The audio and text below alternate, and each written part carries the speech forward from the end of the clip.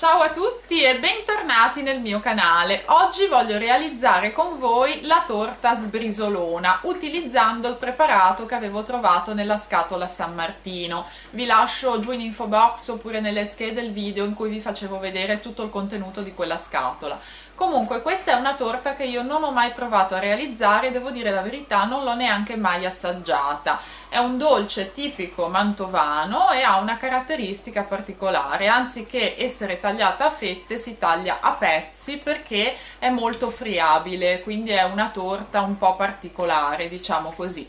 Comunque io voglio provare perché qui c'era il preparato, c'è tutto l'occorrente, quindi vediamo che cosa succede. Vi dico subito eh, quello che c'è all'interno della scatola e poi vi leggo quello che c'è scritto dietro prima di entrare nella mia cucina e provare a realizzarla intanto apriamo la scatola e vediamo che cosa c'è all'interno dunque c'è il preparato per la torta quindi c'è questo sacchetto qui e poi ci sono delle mandorle sgusciate qua non si vedono però c'è scritto sopra che ci sono delle mandorle sgusciate e sono 60 grammi quindi cosa dobbiamo fare? Vediamo subito. Qui dice di accendere il forno, preparare una tortiera leggermente imburrata, però io utilizzerò la carta forno perché a me non piacciono le cose troppo grasse con troppo burro, quindi utilizzo la carta forno.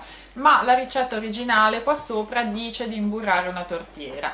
Poi versare il preparato aggiungere il tuorlo, il burro freddo da frigorifero tagliato a pezzetti, mescolare inizialmente con una forchetta, poi a mano in modo da ottenere un composto molto grumoso, poi aggiungere le mandorle, amalgamarle all'impasto, versare il tutto nella tortiera senza premere e cuocere per 40 minuti nel forno elettrico oppure per 30 minuti nel forno ventilato. Togliere la torta dal forno e servirla fredda.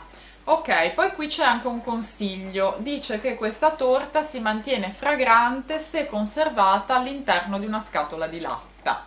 Ok, per me è proprio una completa novità, non l'ho neanche mai vista sinceramente se non in fotografia o in qualche video su YouTube, ma non l'ho vista dal vivo, è proprio una cosa che non ho mai avuto occasione né di vedere né di assaggiare, neanche quando sono stata a Mantova, perché io sono stata a Mantova, però sinceramente non mi era capitata l'occasione di mangiare questa torta ma eh, direi di fermarsi con le premesse che sono già state sufficientemente lunghe, andiamo subito in cucina e proviamo insieme a realizzare questa torta. Mi sono messa alla mia solita postazione, qui ci sono tutti gli ingredienti necessari, vi ricordo che questo non è un tutorial, è semplicemente un video che faccio per condividere con voi un esperimento che farò nella mia cucina, perché non ho mai preparato questa torta in vita mia, quindi non ho nulla da insegnare, semplicemente mi faceva piacere condividere con voi questa cosa e quindi insomma adesso vediamo che cosa succederà nella mia cucina io prima di tutto vado ad aprire eh, la scatola tutti i prodotti che servono Ovviamente seguirò quello che c'è scritto sulla scatola, quindi la prima cosa da fare è aprire la confezione e versare il contenuto in questa terrina. Adesso devo dividere il tuorlo dall'albume perché non va utilizzato l'uovo intero ma soltanto il tuorlo, quindi andrò a fare questa operazione. Intanto colgo l'occasione per far vedere a coloro che non lo sapessero come si fa a dividere il tuorlo dall'albume. Semplicemente io faccio in questo modo, lascio il tuorlo dentro al guscio e lascio scivolare l'albume in un contenitore, in questo modo qua, ovviamente stando attenti a non perdere tracce di tuorlo il tuorlo è rimasto nel guscio e quindi lo vado a versare. C'era anche un pochino di albume ma l'ho recuperato al volo. Adesso vado a mescolare un pochino e poi aggiungo il burro.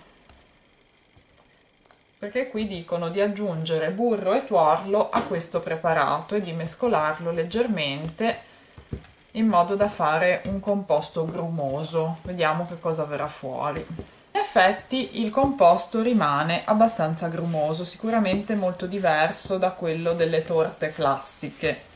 Poi devo aggiungere le mandorle. Ne lascio un pochino nel sacchetto perché poi magari vado a decorarlo un pochino sulla superficie, anche se qui non lo dicono, però è una cosa che magari vado a fare io perché mi piace di più.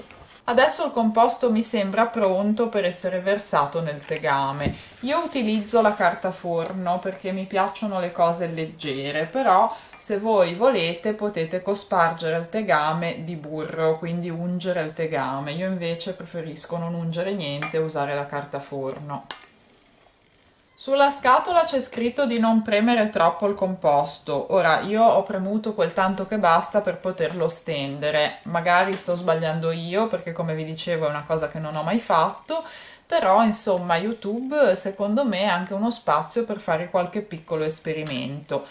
Eh, mi viene così, io non so assolutamente se sia eh, giusto o meno, perché comunque dalla foto che vedo sulla scatola sembra un pochino diverso, però può darsi che poi in cottura eh, magari assuma quella figura, quella forma. Io comunque adesso aggiungo le mandorle che avevo lasciato da parte, perché volevo comunque decorare un pochino la torta nella superficie, in questo modo, poi non so se, eh, ripeto, se è sbagliato o meno Comunque, vediamo che cosa succederà. Adesso bisogna cuocere in forno a 180 gradi perché sulla scatola c'è scritto 180 gradi forno elettrico oppure 160 gradi forno ventilato. Per 40 minuti se il forno è elettrico oppure per 30 minuti se è ventilato. Nel mio caso è elettrico e quindi per 40 minuti a 180 gradi. Questo è il risultato finale. Io non credo che sia molto riuscito questo esperimento perché dalle foto che ho visto le immagini sono proprio diverse. Poi è anche una cosa che io non ho mai mangiato, quindi non so neanche quale sia il sapore in ogni caso la assaggerò, può darsi che nonostante l'estetica poi abbia un sapore eccezionale, quindi ragazzi mettetemi un pollice in su lo stesso per il supporto e per l'esperimento non tanto riuscito. Io comunque vi invito come sempre ad iscrivervi al canale se ancora non l'avete fatto, mettete un like al video se vi è piaciuto, io vi mando un bacio enorme.